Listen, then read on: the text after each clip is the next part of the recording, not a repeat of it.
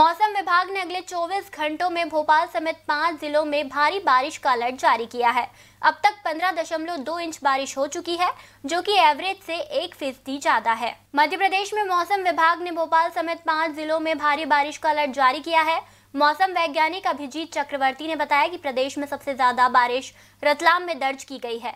उन्होंने कहा कि प्रदेश के पश्चिमी हिस्से भोपाल, इंदौर, उज्जैन, नर्मदापुरम ग्वालियर चंबल संभाग में एवरेज से तीन फ़ीसदी ज़्यादा बारिश गिर चुकी है, जबकि पूर्वी हिस्से रीवा, सागर, जबलपुर और शहडोल संभाग में एक फ़ीसदी कम बारिश हुई है। हालाँकि लगातार तेज बारिश होने से आंकड़ा बढ़ रहा है। वहीं भोपाल संभाग के सीहोर, रायसेन, राजगढ़ के अलावा आगर मालवा सागर, मंदसौर, नीमच, अशोकनगर और गुना में बाढ़ की चेतावनी जारी की गई है। वहीं दूसरी ओर, डॉक्टर मोहन यादव ने प्रदेश की जनता से अपील की है कि लोग बारिश के समय सावधानी बरतें और बेवजह घर से बाहर न निकलें। उन्होंने ये भी कहा कि बारिश के समय लोगों को पेड़ों की शरण नहीं लेनी चाहिए। नमस्कार, मैं अभिजीत चक्रवर्ती, मौसम विज्ञानी।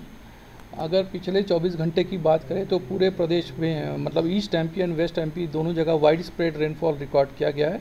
पश्चिम मध्य प्रदेश में जो है वेरी हैवी रेनफॉल जो है आपके तीन स्टेशनों पे दर्ज किया गया है और हैवी रेनफॉल आठ स्टेशनों पे दर्ज किया गया है। रतलाम में 180 सेंट वन एट्टी मिलीमीटर जो है बाजना करके है, यहाँ पर सर्वाधिक जो रेनफॉल मिला है।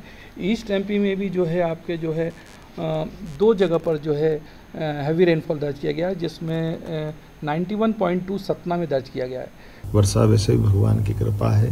हम सब अपने अपने ढंग से अपनी सुरक्षा करें, खुद की भी करें, पास वालों की भी करें।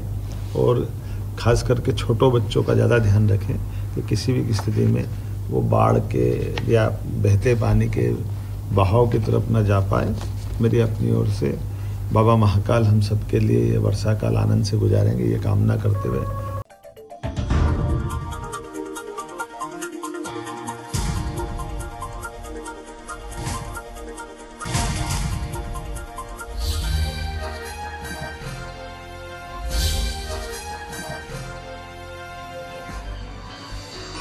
आप देख रहे हैं दखल न्यूज़।